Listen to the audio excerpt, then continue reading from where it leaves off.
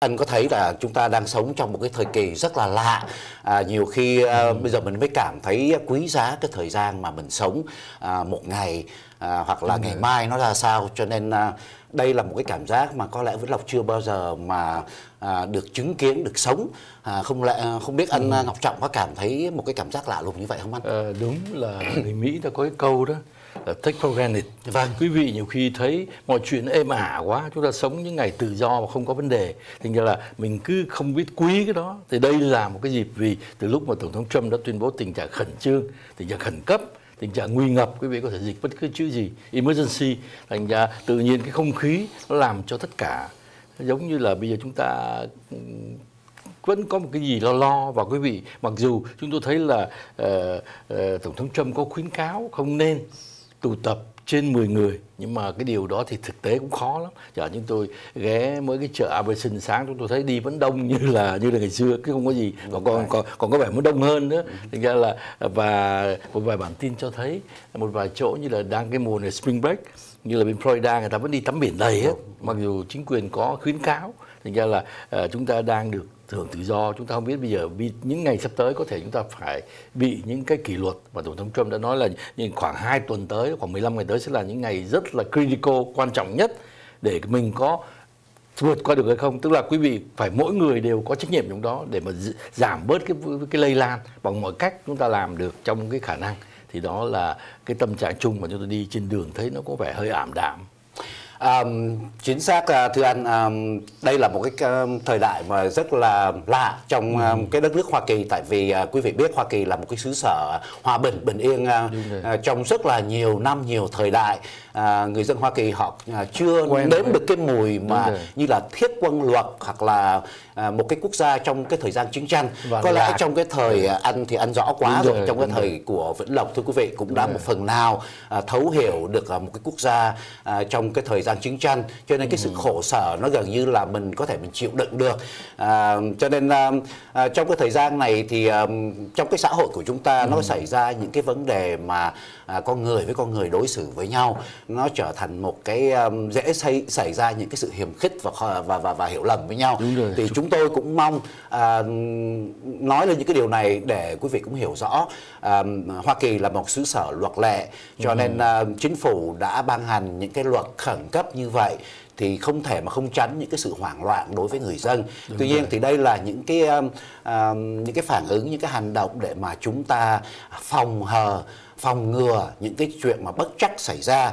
vì cái vấn đề mà coronavirus kính thưa quý vị như chúng ta đã rõ à, ngay tại à, khu vực chúng ta đang ở hiện nay thì à, tất cả các công sở của chính quyền đã tạm thời đóng cửa đóng một hết. nửa ừ. tức là các nhân viên của chính phủ hiện tại thì à, chỉ có làm việc giấy tờ trong văn phòng à, chúng tôi không có tiếp xúc với à, khách hàng à. à, mặt đối mặt nữa thưa quý vị à, tại vì như quý vị rõ à, luật mới tổng thống mới ban hành đó là chúng ta à, làm việc à, trong xã hội với nhau phải giữ một cái khoảng cách tối thiểu à, để mà phòng hờ à, cái vấn đề mà nó lây lan ra cái cộng đồng chung của chúng ta thì nó sẽ rất là nguy hại tuy nhiên thì à, cái vấn đề mà sợ hãi trong uh, cộng đồng chung thì không thể không tránh thoát được À, cho nên um, chính quyền của chúng ta hiện nay cũng có những cái lời uh, khuyên rằng rằng uh, chúng ta không cần phải đi dự trữ quá nhiều thức ăn thực phẩm phải không anh? Đúng rồi. Uh, tại vì ngay tuần vừa rồi ngay tại uh, trung tâm phục vụ cộng đồng của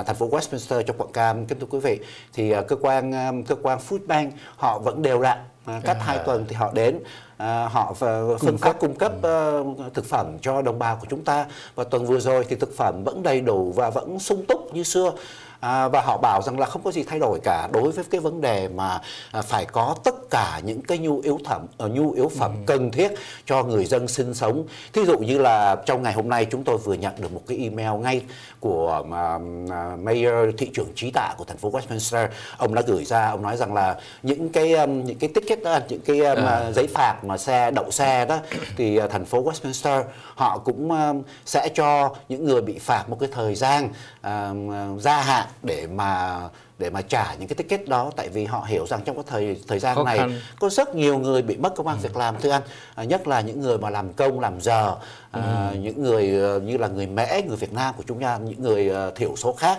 thì họ bị ảnh hưởng rất là nhiều à, cùng cùng uh, cùng vào những cái vấn đề này thì uh, chính phủ của Donald Trump ông ta cũng đang họ cũng đang duyệt xét À, cả hai bên lưỡng đảng để mà uh, mà, mà xúc tiến cái vấn đề mà trợ cấp thêm 850 tỷ Mỹ Kim tiền viện trợ để mà uh, đổ vào cái cái cái nền kinh tế của Hoa Kỳ để mà vực dậy uh, cái cái sự mà uh, thất thoát trong thời gian một vài Đúng ngày rồi. vừa qua thôi anh không nói chỉ một tuần nữa. Nhân cái Vĩnh Lộc có nêu cái điểm hồi nãy chúng ta nói là người Hoa Kỳ họ đã sống trong an bình bao nhiêu thập niên thì đối với chúng ta nhất là những người ở lứa tuổi tôi hoặc lớn hơn thì đều dường như có ngày nào khờ yên đâu ở miền Nam chúng ta ngày xưa rồi. không? Vâng. chiến tranh liên tục rồi sau đó chúng ta lại chạy loạn chạy loạn lạc chạy vâng. qua đây vượt biên vân vân cho nên nhiều khi đối với chúng ta chúng ta handle được vâng. còn người Mỹ đây là một cái sốc của họ đó có nhiều người người ta sẽ bị sốc lắm bởi vì cái thời mà chúng tôi mới qua đã biết được biết không là thập niên 80 đó gặp những người Mỹ đầu tiên hay là những người Canadian Canada họ nói họ ngạc nhiên lắm tại sao mày có thể handle được một cái, cái, cái những cái chuyện họ nghe à, những cái up and down mà chúng mày chúng mày không bị điên. Chính họ ngạc nhiên mà. Chứ lẽ là chúng mày phải bị tâm thần hết là vì bao nhiêu là cái biến cố một cái đất nước mà lúc nào cũng chiến tranh liên tục. Thế này có thể kia rồi lại chảy loạn rồi đi khắp nơi vượt biển vân vân.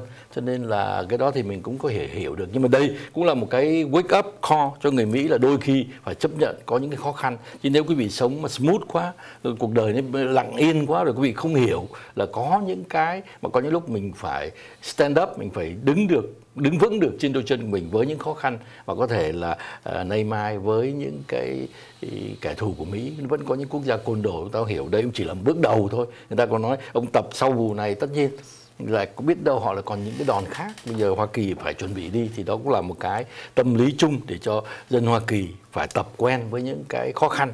Đúng và như quý vị đã thấy uh, trong những ngày vừa qua à, những cái chợ à, nhất là những cái chợ Á Đông Đúng thì à, những cái shelf hoàn toàn là nó trống à. không còn cái gì để bán nữa thưa quý vị mọi ừ. người đổ xô ra đường để mà mua tất cả mọi thứ dự trữ cho cái trường hợp mà khẩn cấp à, không biết chuyện gì xảy ra. Tuy nhiên thì cái hoàn cảnh này nhìn những cảnh tượng này à, không khỏi cho chúng ta nghĩ lại cái thời mà à, của chủ nghĩa cộng sản trong những cái xã hội cộng sản thưa anh. là đi ra ngoài những cái chợ búa là hoàn toàn không có không thực có. phẩm không có cái gì cả à, đây là một cái cái cái cái một cái bài học để chúng ta có thể nếu mà người nào đã từng sống qua cái xã hội cộng sản á thì phải nên đó. nhớ lại đây là một cái một cái uh, một cái hình ảnh để ừ. chúng ta thấy socialist nó có thể đưa cho chúng ta đến cái hoàn cảnh này à, uh, một ngày rất là gần cho nên đây là một cái bài học cảnh tỉnh để cho uh, tất cả những cái công ty lớn cả công ty của Hoa Kỳ như là Apple Đúng vì rồi. để tất cả mọi quả trứng của họ vào cái basket ở bên uh, cái cơ xưởng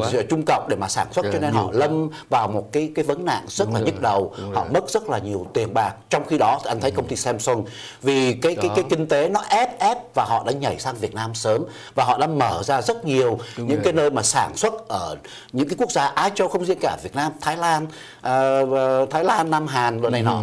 Thì họ có hết những cái nơi để mà sản xuất nên họ không bị lâm một cái trường hợp như là công ty Apple. Thì đây cho chúng ta thấy một cái bài học, không nên tin tưởng tất cả những cái gì mà cộng sản họ nói và nhìn kỹ những gì họ làm. Kính thưa quý vị.